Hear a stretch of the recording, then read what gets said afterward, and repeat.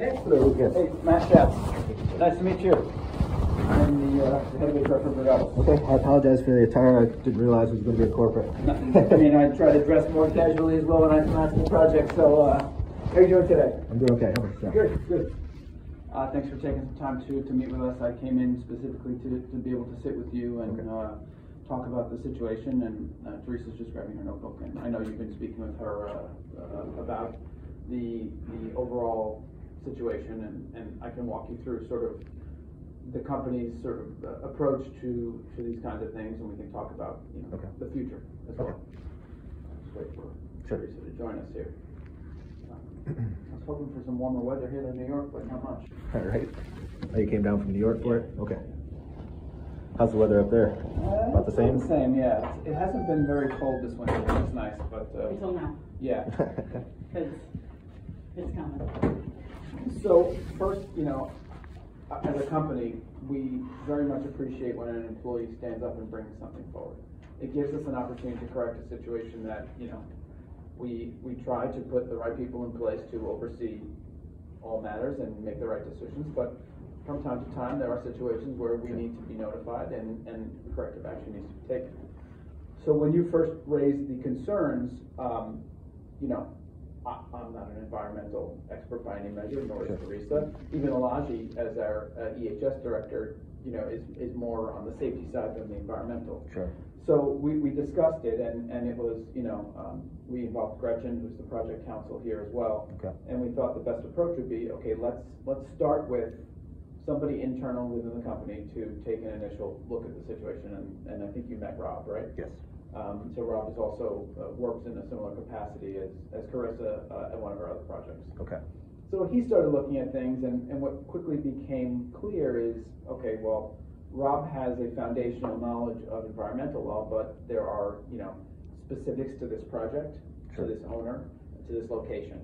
And so we said, okay, well, maybe then what we need to do is engage some assistance from outside the organization. Sure. And we obtained, um, a name of an environmental lawyer. Okay. And what we asked him to do was review the, the reporting log that you guys have been maintaining for the life of the project.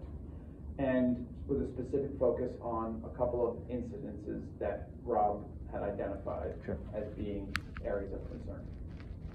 And what we needed to understand from the lawyer was, okay, well, what, what are the requirements? What are the legal requirements here? Right, what does that permit allow us to do? I don't know any of these things. And so we had the lawyer review this, and it, it did take some time Sure. uh, to, to go through that much material and get the details and, and go into it. And, you know, I think at the end of the day, what the lawyer has determined is that there, there may be some issues on that side of the fence, right? Sure. Which has not been yet presented to Carissa, it's something that is sitting with the, the guys upstairs. Sure. Um, and, and I had conversations with them to say, okay, so as a project, we need to take this report, digest it, and endorse it, and say, this is what we wanna see happen, right? We wanna see the rules followed explicitly in this way. We wanted to make certain, from our perspective, that some of these issues are not open for interpretation. Sure. Um, you know, and I've learned a little bit about environmental during the process, uh, but still, not my area of expertise. I, I am a lawyer by background, but not, not that kind. Okay. Um, so, on the flip side, right, while that was going on, you came forward with additional concerns related to her in general. And so that's when Teresa and I started to have conversations, both with yourself and some of your colleagues, some of the ones that were willing to speak to us Sure. um, and Carissa as well. And, and I think the, the, the approach that we took was, okay, let's try to identify what are the areas that, that you're concerned about. How long has those kinds of things been going on? What, and what, what, what can we attribute that to, right? Is it her failings as a manager, right? And, and a, a management style that doesn't necessarily work well for everyone in the team? And how do we address that going forward? And so that's the point we're at right now today Okay. um, that we are working as a team, right, both in corporate, and I have a learning development team that works in my department in corporate Okay. to support people in this situation. They're gonna provide a curriculum about some trainings, and this is something that she's been very receptive to. Okay. So I see hope there, right? Right. I, I see hope that we can move forward in a productive way in this situation.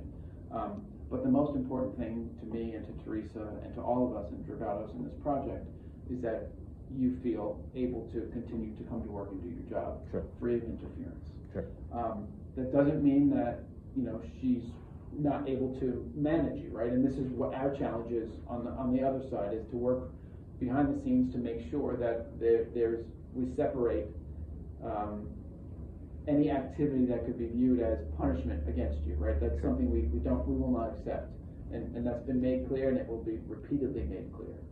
Um, from regular workplace interactions. And Sure. this is, this is oftentimes the hardest part of these situations, is finding out a way to move forward together, right? Sure.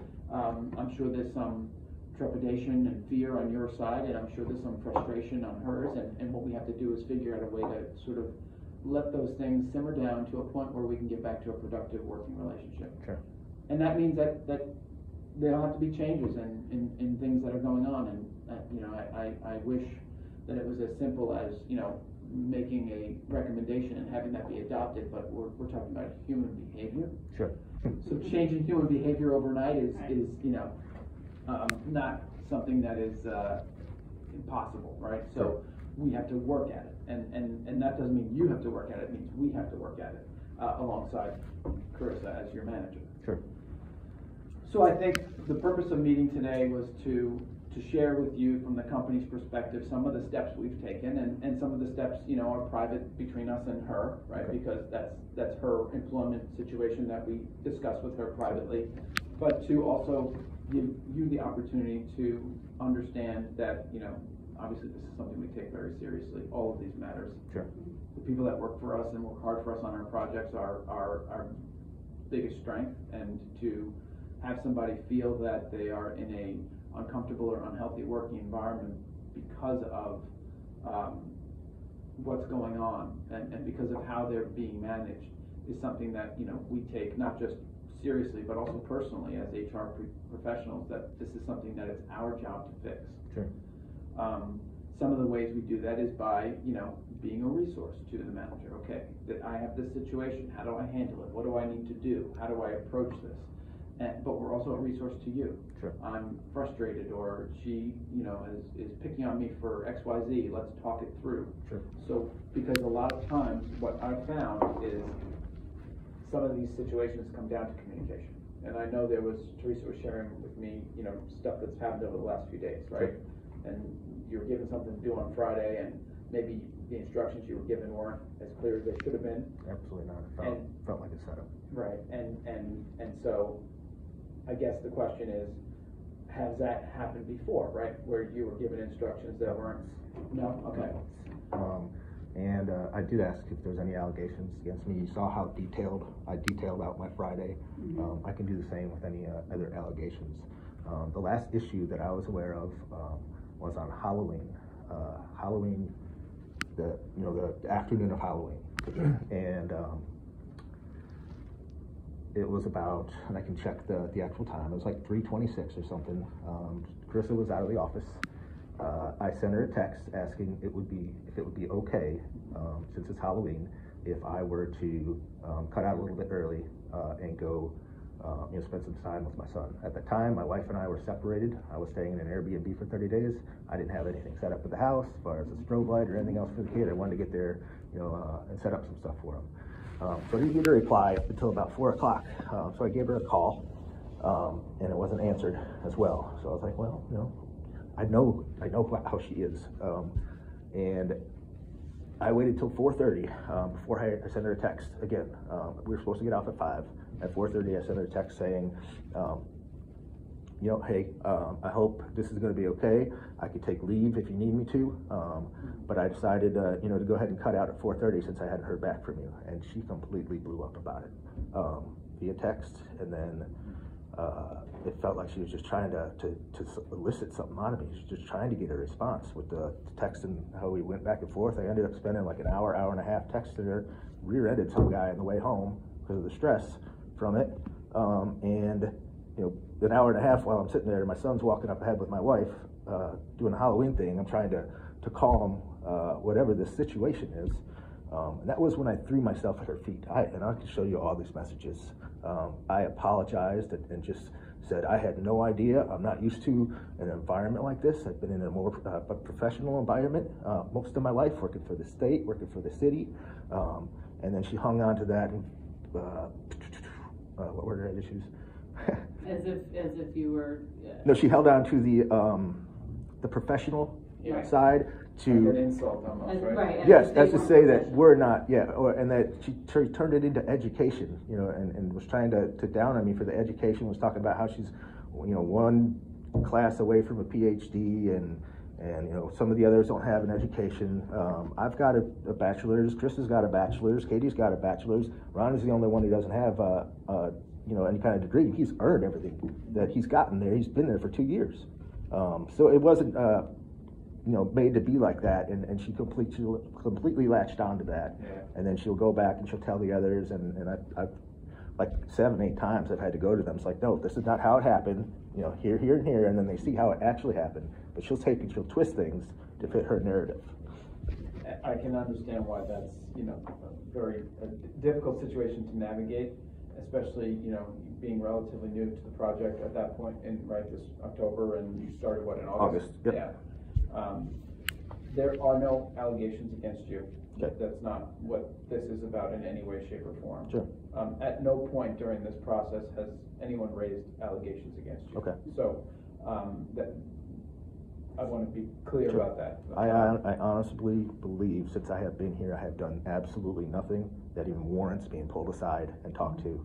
Um, I, I had no idea that that was going to be the reaction on, you know, Halloween. Uh, Right. it was almost like Right. it's almost like she wanted to pick a fight for some reason. Right, but that was well before any of these issues that we're talking about today. Correct. Um, since that time, I've tried to be. Ever since I threw myself at her feet at that time, I just said, you know, hey, I am completely sorry. I'll do whatever, you know, I'll, I can change. I'll do whatever we, you know, that needs to happen for that. The whole conversation on my end was like, uh, lighthearted. Um, and I, again, I'll show you guys the, the text com- conversation. Um, but since then, I have, uh, it, I, I've noticed I was on her radar. I have been spotless since October the 30th.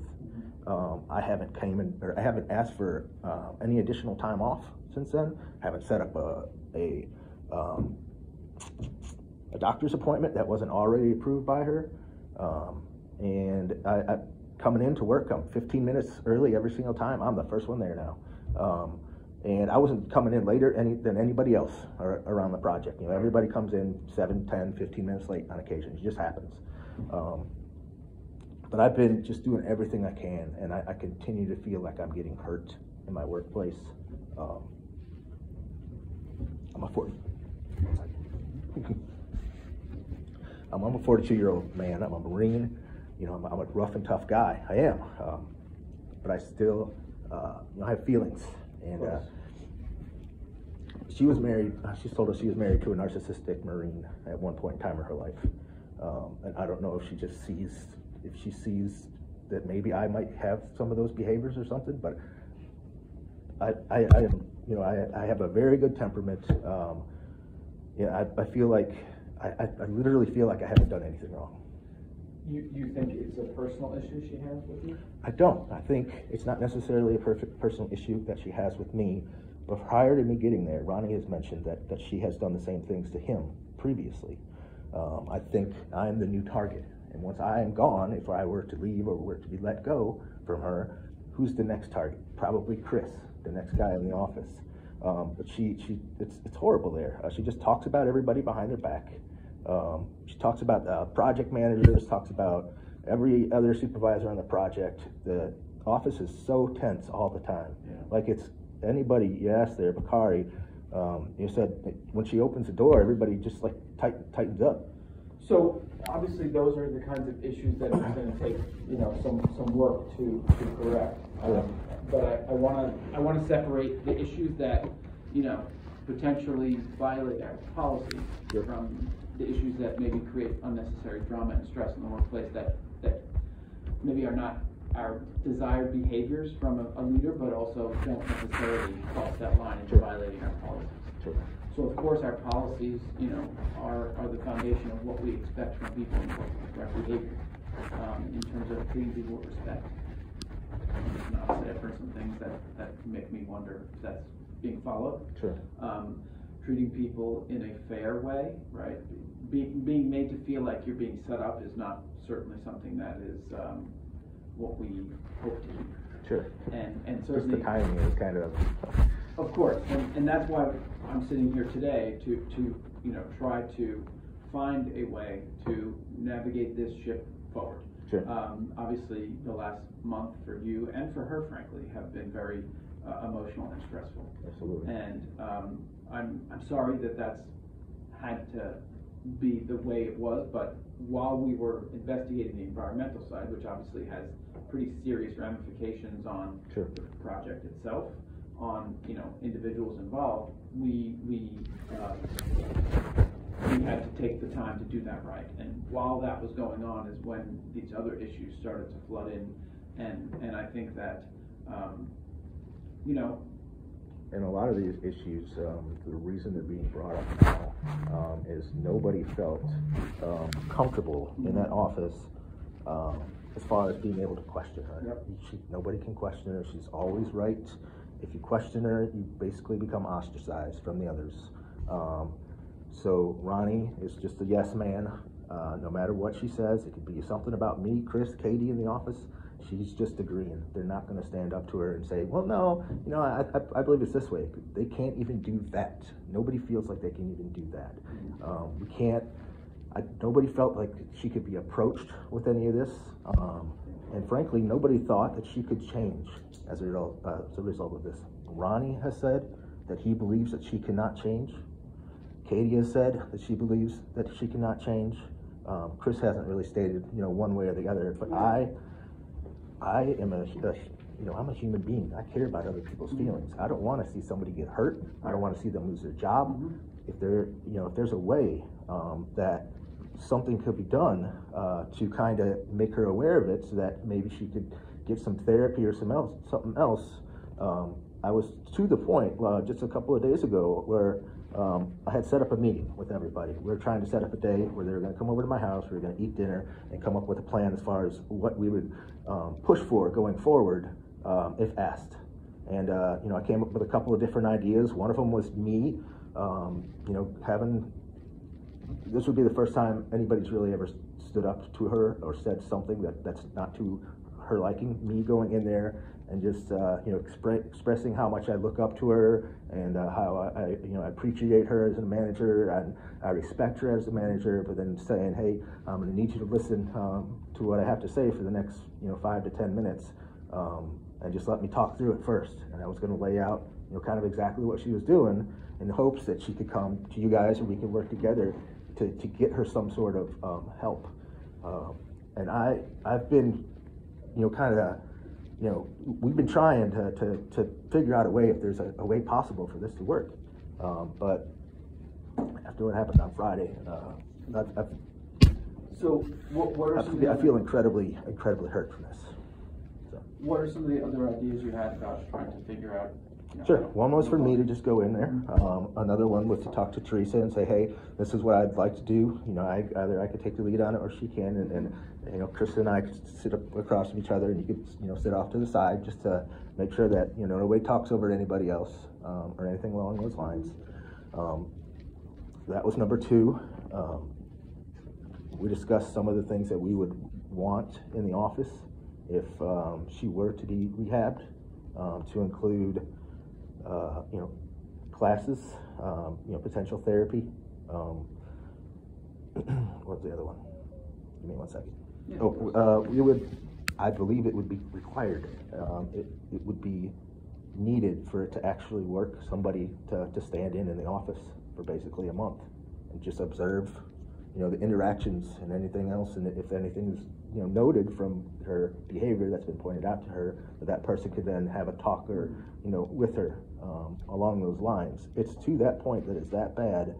Um, that you know again not wanting to hurt another human being I, I I'm, I'm I'm done with it you know she's gonna sit here and try to it feels like set me up um, uh, during this process slander my name question my military experience it's It's Tell me about that. ridiculous. What, what does she question? I, I did mean to ask you that too. I know you've sent me copies of Sure. your, but I didn't. To Ronnie, um, she questioned whether I was a Marine or not, uh, and Ronnie told me about this before the meeting. Um, so, uh, you know, I felt attacked, obviously. So I sent her, you know, some pictures of me in the Marines in my dress blues, my honor graduate certificate of commendation.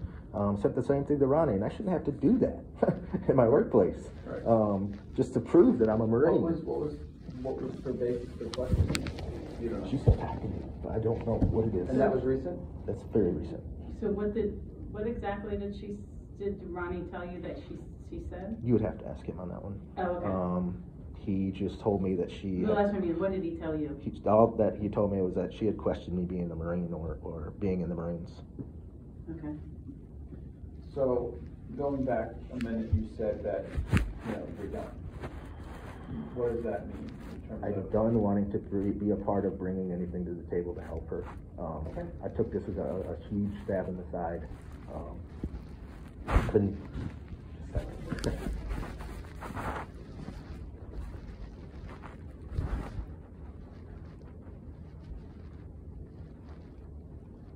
I've been hurt a lot.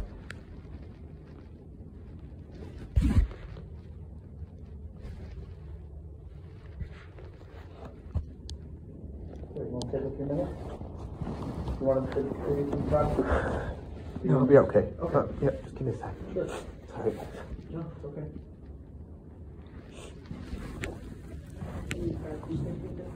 I'll be okay. Thank you, Bill. I've just been hurt a lot um, during this process. It's continual. It's not once every three months. It's once every three days. It's something.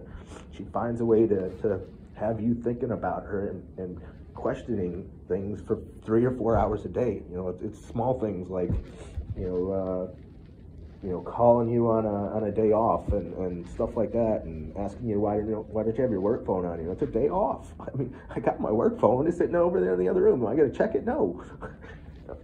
just stuff like that. Just just finding a way to, you know, to to get under um, my skin, and I, I, it's been unwarranted. I I don't know what I've done. The only thing I can believe is that she might feel threatened by me to the others.